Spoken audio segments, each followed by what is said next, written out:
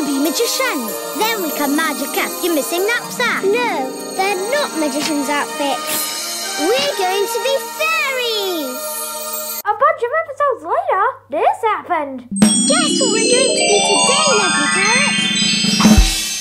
Magicians. Unbelievable! Yeah, I know, right? Chloe's actually being a magician for once. But hey, I'm still waiting for that truck diver idea. What? They mentioned it a few episodes, and we're still never going to get it. Yeah. What a shame. Well, what's for next episode? Chloe and her friends going to be, well, candy store workers? Maybe even car drivers? Skiers, Fishermen. ancient gods, Birdseed factory workers. conductors, Nursery rhymes, musicals, Maymakers? puppy dogs. Nope. Okay. We went out. I can't think of anything else except chunks of birdseed. Oh, I know! Wait, you do? Well, tell us already. You're being a pop star! Yes. how, how did did you you predict predict that?